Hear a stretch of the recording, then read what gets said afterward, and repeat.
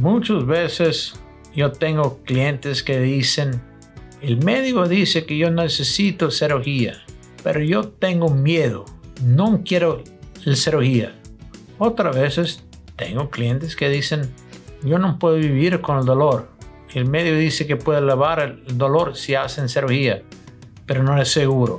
Yo no sé si es seguro o no, pero no puede vivir con ese dolor. Yo me voy a probar y tomar esa cirugía.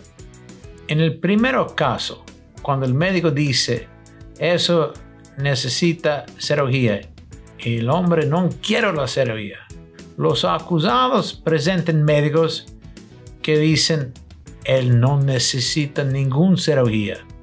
Está diciendo mentiras del dolor que no existe.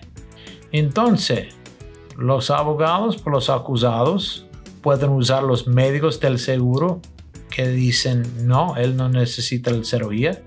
Y si no podemos hacer un acuerdo, tenemos que presentar el caso en frente de un jurado y el jurado va a escuchar un médico que dice necesita cirugía.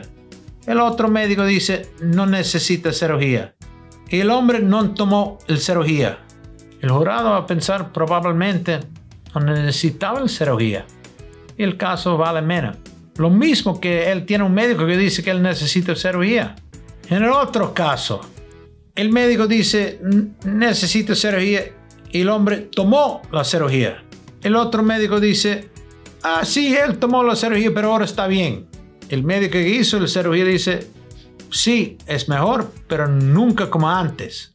Va a haber problemas por la vida. El jurado va a pensar, si él tomó la cirugía y su médico dice que él va a haber problemas por la vida, lo mismo. Yo no creo. El médico dice que él no va a haber ningún problema con uno que tuvo el en su columna. Entonces normalmente el caso vale más, porque es más fácil por un jurado de creer si él tomó el cirugía, el problema es la verdad. Y con eso, idea que es más fácil de mostrar la prueba para ganar un caso en frente de un jurado, el seguro por los acusados pagan más normalmente por un acuerdo. Entonces, no hay gran importancia si tu médico dice que tú necesitas cirugía o no.